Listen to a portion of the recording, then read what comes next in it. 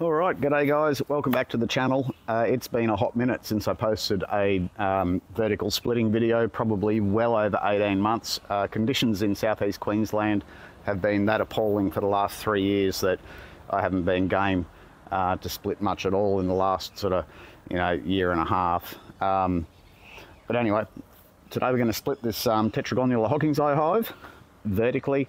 Let's get into it. All right, guys, so let's go. As I said earlier, it's been quite a while since I've split anything vertically, at least, well, split anything at all, actually. It's been at least 18 months. So we've got our empty box there, a full box here, very heavy, full as a boot. Let's get into it. So, I've taken the um, the little cover plates off the side of the hive here that cover the vertical join. The next thing we do is we cut across the viewing panel right in the middle of the hive. So just get our uh, straight edge here and our Stanley knife.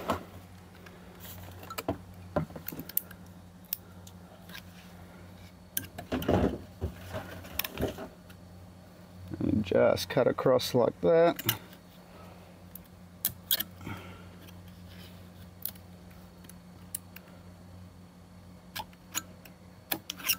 Okay, it's the viewing panel cut.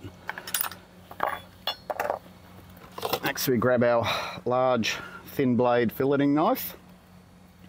Now you normally get quite a lot of resistance right on the very edges of the hive here. That's where they store a lot of resin and maybe some food and the cut will get considerably easier as you go through the middle of the brood. So we just go down. There's quite a lot of resistance there. Heaps of resistance. Oh and then oh, you can see how easy the cut gets as you go across through the brood. And then a lot of resistance on the other side. Okay. So I've got cadaghi resin on the knife a little bit of honey a little bit of pollen. So just get the heel of the knife in the hive there and open him up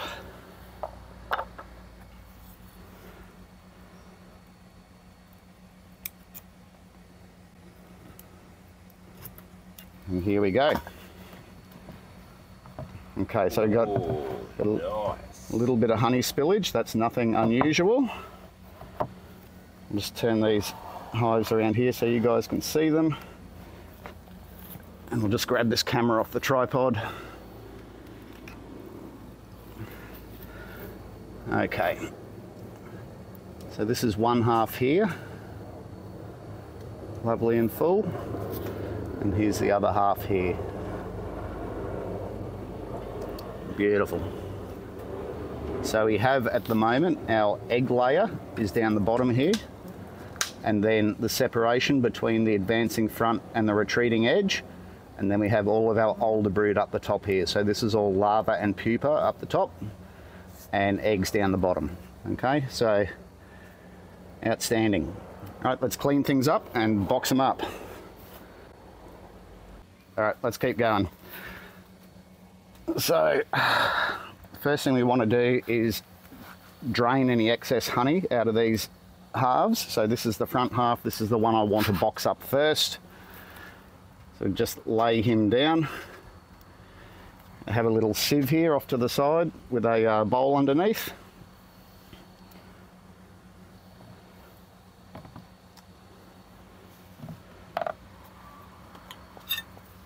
Just get these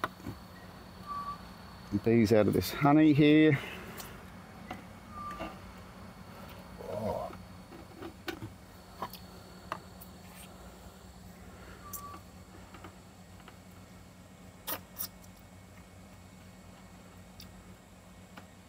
That's nicer than that shit you gave us the other day.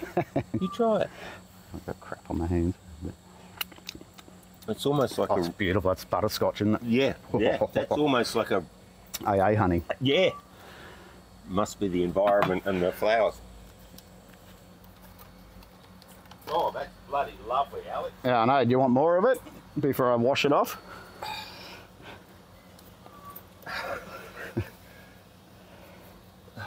I'm assuming the plate was clean first.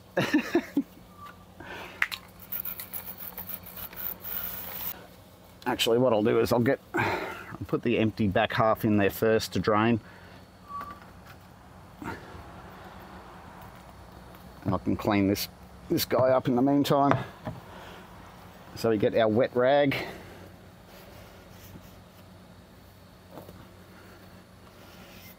Clean that mating face. Beautiful. Clean up any remnants of any honey that's spilt.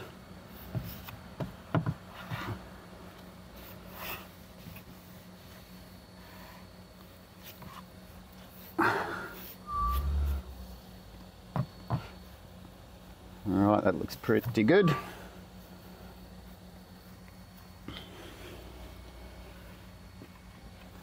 Get our empty back. It was about now. He knew he'd fucked up. Oh. God damn it. Uh, all right, guys, we are back. It is the next day. I can't believe I made that mistake. But anyway, I have returned and we have the correct empty box this time. Bushman's, the only product for me. All right, so have to open this hive again. Obviously, given that I cut um, cut this hive in half yesterday, it'll be interesting to see what they've actually done to the cut face of the brood in both halves of the box. So it normally takes a day for them to clean up the cut face, and uh, in, all, in all honesty, you wouldn't even know it's been cut a day later. So um, let's whip these side covers off here and have a wee look.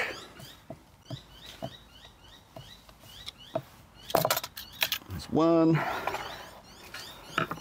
They don't seem too upset, so I'll use the drill. Don't use an impact driver. Using a drill is okay, just go very gentle on them.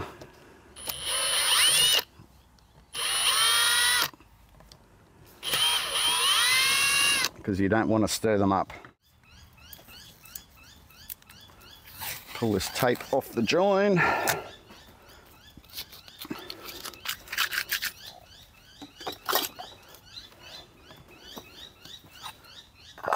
just grab this knife again and put it in the heel of the hive. Hopefully it all just comes apart again, and it is. Okay. Oh my god, they've healed all those cuts. Outstanding.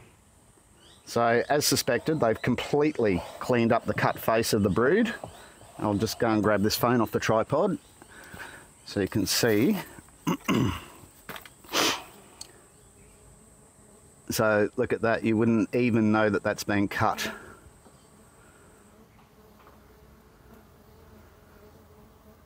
Outstanding. So I'll have a quick look inside here and see if we can see a queen. It's going to be very difficult, but I'll be looking on top of this advancing front here. Uh, no, I can't really see inside there, but anyway, look, let's get them back together. Okay, let's keep going. So I want to get the the empty front half back on as soon as I can. Well, I want to get it back on first.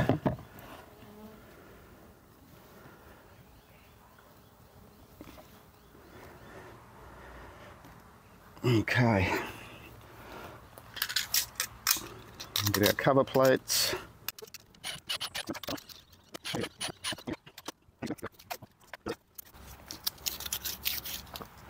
We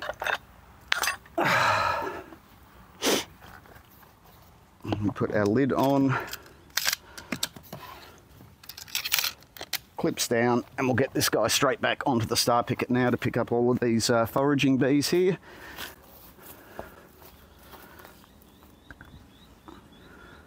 We are back. We'll do this front half now. which has got the empty back.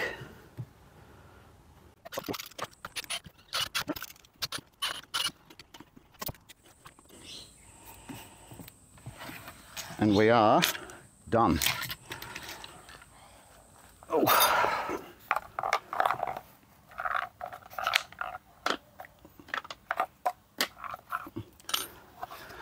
And put our lid on. Clips down.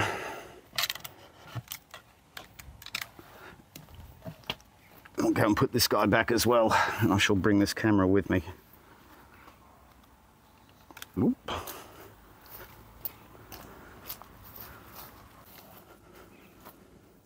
So all of the bees that were hanging around this star picket here now have gone into this bottom hive here, which has got the empty front. Okay, so I want more bees in this box here because the entrance is a bit more vulnerable than the established one up the top here. So that's pretty us, pretty much us done in a nutshell, guys. So um, hope you enjoyed that, and I hope you can see that remembering that, that these hives here are actually Australis hives. They're only 2.6 litres in volume. Um, so you can see now that you do not need a big volume box to get good solid results.